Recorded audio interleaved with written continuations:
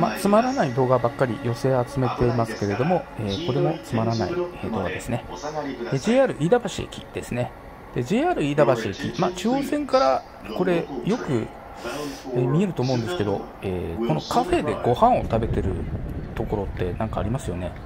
後からちょっと撮りますが結構値段高かったです。で JR 飯田橋駅ですね。駅さっき映ったと思うんですけれども、真新しい駅舎に、えー、様変わりしてました。これ JR 飯田橋駅ですね。新しい駅ですよね。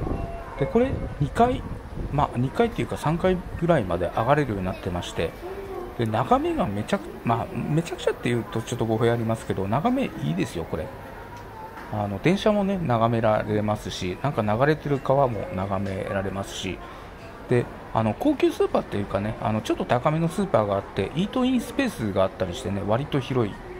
あのちょっとね飲み物とか買って過ごせれるんですよ。でこれがなんかカカナルカフェっていう名前ですけどね。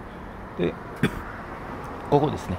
なんか、えー、東京水上クラブっていう名前があるんですかね。なんかボートボートバー昔はこんな感じだったみたいですね。今も今はできないのかなボートに。もでこれがいわゆるカナルキャナルカフェっていうんですかね。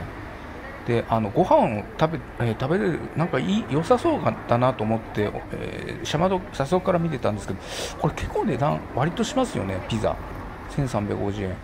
まあ安いので900な990円ぐらいのがあるんですかね。飲み物つけたら高いですよね。でも。でデザートメニューとかもねなんかあるんですね。えー、あフィッシュチップス770円。まあこれ妥当か。カナルプリン440円、ブラウリーとかね、ケーキ500円、600円、こんな感じでしたね。まあ、飲み物つけて、まあ、あの車窓から見えるところはこんな感じのメニュー